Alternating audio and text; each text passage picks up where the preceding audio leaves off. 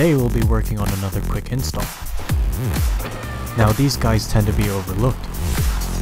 You gotta remember, they're 30 years old.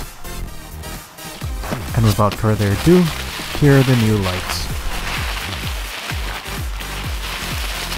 Also, big shout out to Techno Toy Tuning for selling these awesome products.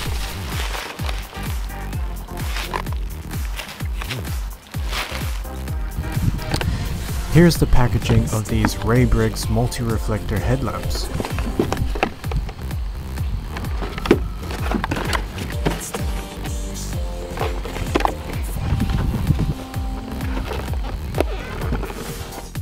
Inside we get the instruction manuals,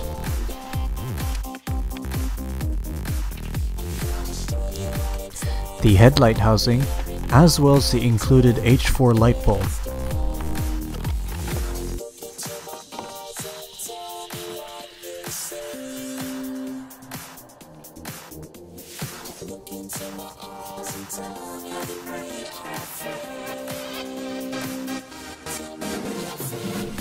Now these aren't HIDs, so they're a plug-in replacement for your regular lights. And with a Phillips head screwdriver you can undo the four screws which hold your light covers in place. This ring holds your light housings in place, and they're held on by four screws.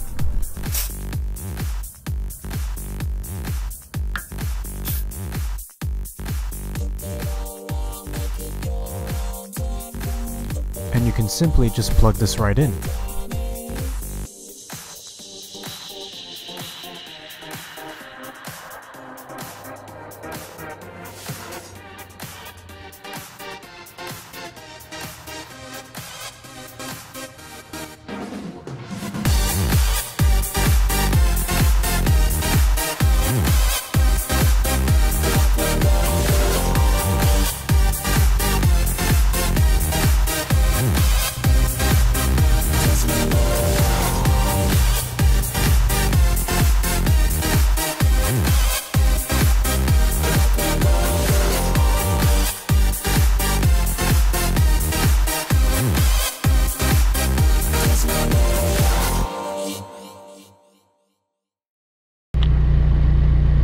Here we are in your typical upstate New York road in the middle of night and as you can see it is completely pitch black.